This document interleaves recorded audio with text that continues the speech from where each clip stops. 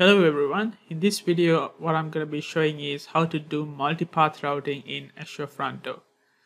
So, so far we have configured um, Azure Front Door basic configuration and also we have added a custom domain to the Azure Front Door and we have also enabled HTTPS using a managed certificate. So at the moment I have only one back backend pool and I have one route rule and everything is routed based on um, based on the best path available for the end user. So what I'm going to be doing is I'm going to be uh, modifying these backend pools and routing rules so that I have specific addresses. Uh, I, I won't route them to a one instance and uh, some of the other routes that I, some of the other paths, I want to route it to a different instance. So let's see how it's done. So I have configured this base um, configuration in Azure Front Door and if you want to have a look at how it's done, so there are some other videos, I'll put it in the description for, for the uh, for the URLs for that video. And um, yeah, so let's see how the, the backend pool configuration and everything is done. So basically what I want is from my from the application side of things, I want uh, all the the root URLs and everything to route to one instance and once I'm logged in, once I'm booked, once I want to go to book and also booked uh, URLs, I want to navigate them to a different um, server or the East to west server. So let's see how it's done.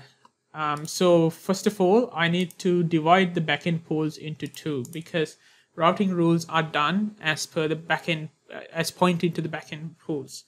So let's create uh, two backend pools for our two instances. So let's say um, so Air East US backend.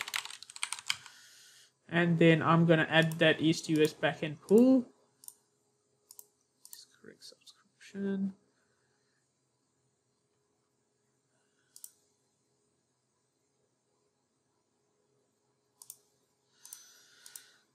So I'll select the East US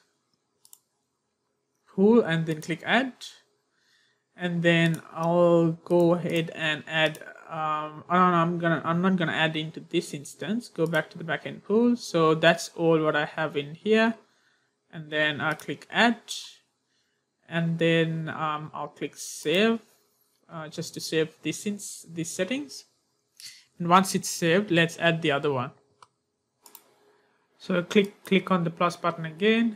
And then this time the west us 2 uh, 2 and uh, backend the naming convention. So let's add the west us 2 backend and click add. Add. that's done and let's click save again. Right. So that now we have added the two backend pools um, let's go ahead and um, we'll configure we'll configure the routing rules. So rather than yeah, so what I'm gonna do is uh, modify this routing rule. So now it's directing to the uh, the root of the uh, of the path. So this is like the default path, and I'm going to tell um, for the default path I want to go to the West US instance rather than to the um, the default one which is normally load balance. So I want to point out everything to go into the West anything that I don't um, define in the other rule. So let's update this and then let's add another rule to say booking. And then I want to listen on both addresses and in here I have book URL and I want another path booking and I want another path as login. So everything else will be going to the default path and this one should be going to the East US instance and the other one goes to the uh, West US instance. So let's save these settings and uh, and then we'll clean up the previous rules that I had. Right, so that's saved now. We can pretty much delete this rule because it's not gonna be in use. So let's delete that and save that as well. Okay, now we are done.